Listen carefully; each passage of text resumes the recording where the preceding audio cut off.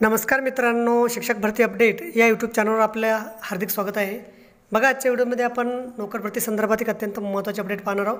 त्यासाठी हा व्हिडिओ संपूर्ण बघा आणि व्हिडिओ जर शेवटी आवडला तर लाईक करायला काही कसर करू नका. चला तर व्हिडिओ सुरू करूया.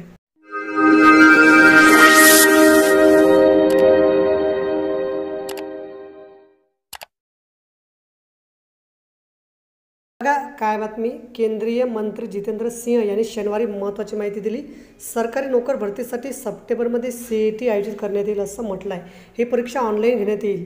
असंही केंद्रीय मंत्र्यांनी सांगितलं. सी ई टी परीक्षेचे आयोजन करण्यासाठी केंद्रीय मंत्रिमंडळाच्या मंजुरीने एन आर एची स्थापना करण्यात आली आहे. मनुष्यबळ राज्यमंत्री जितेंद्र सिंह यांनी सांगितले की तरुणांना विशेषतः सरकारी नोकरीसाठी इच्छुक असलेल्या उमेदवारांसाठी सी ई टी या वर्षी देशभरात आयोजित केली जाईल ज्यामधून सरकारी नोकर भरतीसाठी उमेदवारांची निवड करता येणार असल्याची माहिती त्यांनी दिली.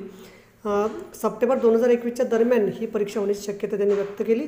ते म्हणाले की डी ओ पी टीने केलेला बदल पंतप्रधान नरेंद्र मोदींनी व्यक्तीक्षा हस्तक्षेप केल्यानंतर आणि तरुणाबद्दल चिंता व्यक्त केल्याने शक्य झाला आहे एन आर ए ही एक अशी संस्था असेल जी बी आणि सी वर्गातील पदासाठी उमेदवारांच्या निवडीसाठी सी ई टी परीक्षेचं आयोजन करणार आहे.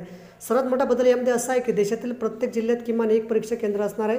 यामुळे वेगवेगळ्या भागात दूर अंतरावर राहणाऱ्या उमेदवारांना परीक्षेसाठी पोहोचवणे शक्य होईल असंही त्यांनी सांगितलं. महिला आणि दिव्यांग उमेदवारासह आर्थिक परिस्थिती नसलेल्या उमेदवारांनाही यामुळे फायदा होणार असल्याची माहितीसुद्धा त्यांनी दिली.